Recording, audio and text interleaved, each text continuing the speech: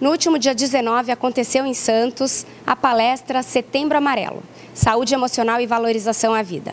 Acompanhe na matéria como foi o evento.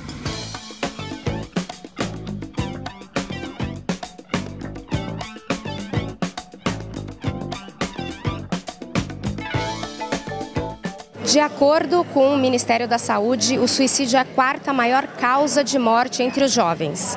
Outro dado importante também é que cerca de 90% dos casos conseguem ser prevenidos, é isso? Exatamente, exatamente. É, a gente tem que trabalhar muito na prevenção, porque isso é uma questão de saúde pública. E se a gente não se atentar para os casos que estão acontecendo com os nossos jovens, principalmente, nós vamos ter esse número ainda, é, tomar, ver esse número tomar uma, uma maior proporção. Exatamente. E um evento desse porte aqui, quem é o público-alvo? São mães, educadores, pessoas que estão passando por problemas de depressão? Qual é o público desse evento em si? Na verdade, o público-alvo desse evento são as famílias de uma maneira geral. Né? Hoje nós temos uma maioria aqui de jovens que estão entrando no mercado de trabalho e com tantas informações que eles vêm recebendo, tanta, é, tanto da parte educacional quanto da parte do mercado de trabalho, essa necessidade de cada vez se capacitar mais para poder ser inserido no mercado de trabalho, eles sofrem uma pressão muito grande. E às vezes eles não sabem lidar hoje em dia com as frustrações nesses momentos. Então hoje é, esse evento aqui serve para conscientizar que às vezes uma palavra, um ouvido amigo, né? Porque a gente fala muito de, de que a gente tem que falar com as pessoas e a gente fala menos que a gente tem que parar para ouvir. Ouvir é muito importante. A gente percebe que hoje os pais andam tão corridos que muitas vezes eles perdem momentos especiais com o filho, né? Um almoço, uma hora de um, um jantar, uma corrida na praia e a pessoa, a criança se sente meio desacolhida, parece um, como se fosse um abandono. É, nós estamos hoje na era da informação, né? Então, é, a informação corre de uma maneira muito rápida. Nós vivemos nos, nos telefones, né? o smartphone veio para facilitar e acabou também, por um outro lado, prejudicando a nossa vida. Então nós precisamos prestar mais atenção nos nossos filhos, na nossa vida de uma maneira geral, desconectar um pouco disso. Né? É isso daí, a gente precisa usar a tecnologia a nosso favor, mas saber que a conversa, o toque, o abraço é o mais importante. E hoje esse evento aqui vem mostrar que é possível prevenir o suicídio, que hoje é a quarta maior causa de morte entre os jovens. Acompanha com a gente.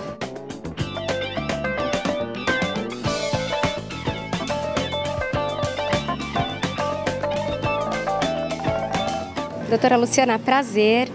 Fala pra gente qual a importância de desmistificar o sofrimento emocional. Eu acho que é muito importante porque muitas pessoas que estão em sofrimento ainda não buscam ajuda por achar que é fraqueza, que é covardia, que basta ter falta de vontade. Então, falar sobre sofrimento emocional como uma coisa que pode acontecer para qualquer um de nós é importante, é um fator de prevenção do suicídio também. As pessoas têm um pouco de vergonha de falar que estão se sentindo depressivas, um pouco não animadas? Elas escondem um pouco? Eu acho que elas escondem, mas não é um movimento só delas, mas muitos comentários que se ouve, ou que a gente vê na internet, como é falta de Deus no coração, basta querer, é falta de um tanque para lavar roupa, sabe? Então não é tanto que as pessoas escondem, mas o medo de qual vai ser a reação e o, o julgamento dos outros por aquilo que ela está passando. Exatamente, o julgamento. E como que os pais e os educadores podem ajudar esses jovens? O que, que eles, onde eles devem procurar ajuda?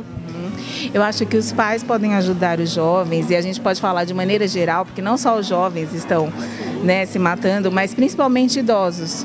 Então, acho que as famílias, em geral, devem abrir mais o diálogo, a conversa, né? Não precisa ficar o dia inteiro ali atento, mas 15 minutos de olho no olho para saber de verdade como é que o outro está faz diferença. E para procurar ajuda, os CAP, Serviços de Saúde Mental, as clínicas de psicologia que oferecem atendimento gratuito, o CVV pelo 188 ou pelo site, mas nunca ficar sozinho, sofrendo em silêncio. Acho que procurar ajuda também é o primeiro passo.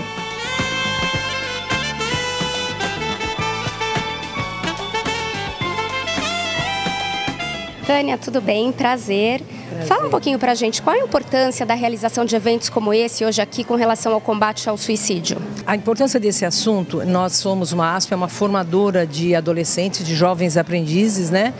É, e a gente segue um programa do Ministério do Trabalho onde são, é, são vistos muitos temas e o suicídio é um tema é, transversal.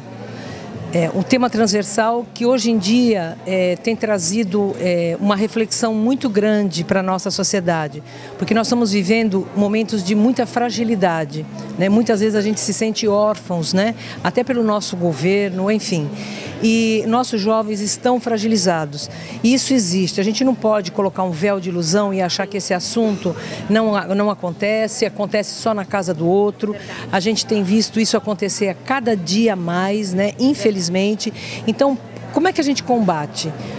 falando sobre isso, refletindo, trazendo profissionais especializados, trazendo professores, trazendo área da saúde, área da educação e os próprios jovens, para eles poderem falar o que está acontecendo na vida deles.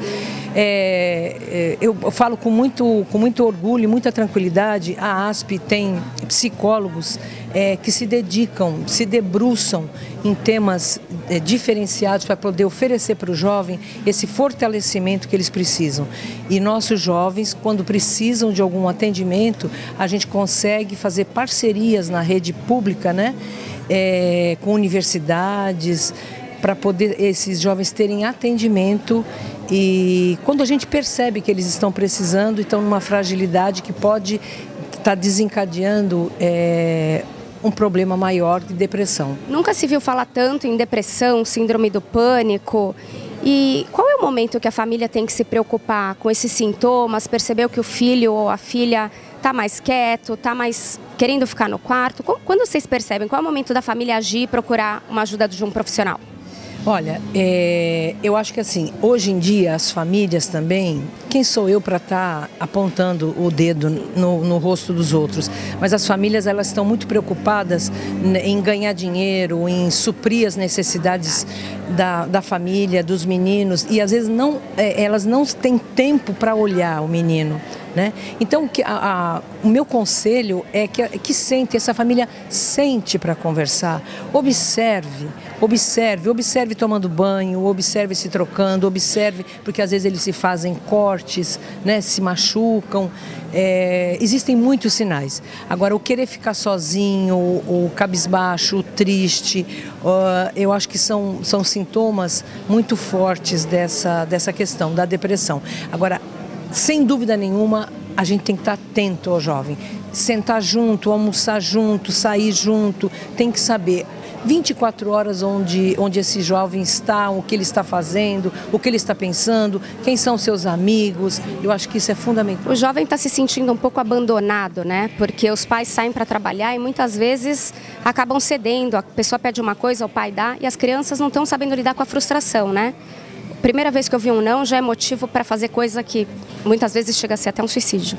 Pois é, é a gente, como é, é os pais não estão conseguindo dar, tanto, é, aten dar tanta atenção, então eles acabam comprando, compram um tênis, compram um celular novo, compram um videogame e não fazem isso porque querem, não fazem isso porque querem mas isso não supre a necessidade. O almoçar junto, o jogar videogame junto, jogar uma partida de futebol, ir à praia, coisas simples e baratas, isso não tem preço. Verdade. Em nome da UAB, eu quero agradecer.